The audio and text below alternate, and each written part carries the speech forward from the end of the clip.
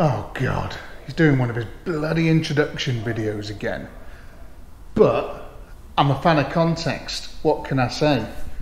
I need you to know about these things because this basket case behind me is going to be a whole big series on getting it restored, and you need somewhere to start, and this is that place. So, a couple of years ago, me and a good friend Aled bought this absolute wreck of a Morris Traveller from 1968. Uh, it's the one litre Porsche Beta, rear wheel drive, manual gearbox. It's practically an Aston Martin, you know. Um, and yeah, we were going to do all the sort of restoration work to it and, and going to sort of float around Cheshire in it, la di da, very nice. Now, what actually happened was we had a load of it sandblasted. We did a load of work to the thing. We did some rear window, uh, rear doors, which I'll show you. We, we decided to change the colour of it, and all this stuff happened. It was great, and we were really flying. And then things get in the way. Other projects come, and other big vehicles need work, and all this sort of stuff. So it was difficult to sort of get ourselves into it, and we became very busy. So it was hard to get us both in the workshop at the same time to work on it, and all this type of thing. But it still needs doing. It doesn't look like anything's happened to that car. It looks like it's just been dismantled, but quite a bit has been done. The rear sort of section has been all welded up.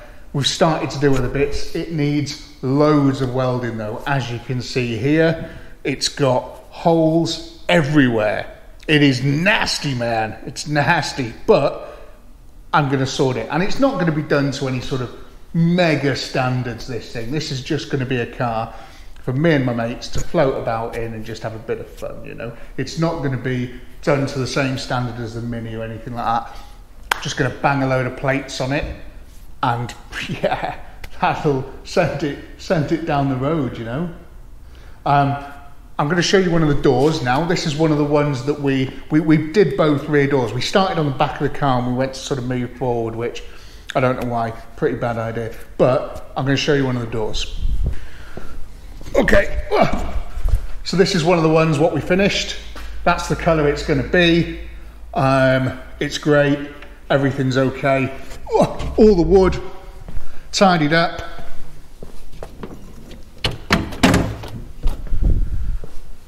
And yeah, ready to rock and roll. When we first got the car, it was up and running and together. And someone was actually using it, I think, not so long before we bought it. It had like a set of Ford Ka seats and seat belts and stuff, and it was all very sort of just modernized to make it a little bit more sort of easy to run. But it was knackered, you know, it was in such poor condition. So we just stripped it all down, took a load of things away for powder coating and stuff, and yeah, it, we just sort of really got stuck in. But um, it's got a long way to go, you know.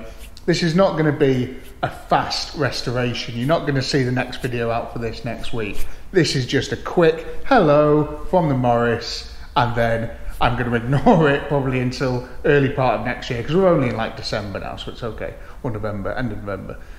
Uh, so yeah, we'll get stuck into it next year when there's nothing else to do. Do load of welding on it, start painting it, getting it back together, and yeah, it should take us a year or so to finish it. Um, but if you're from the future and you're watching this now and all the parts are done, I mean, that's exciting because you can just watch it from the start. Here it is, all the way to the end. I mean, lucky you. Um, while I do all the work. Um, and yeah, I hope you enjoy it. It's going to be fun. It's something a bit different, you know, and it's an old British car. I, I love it. Great.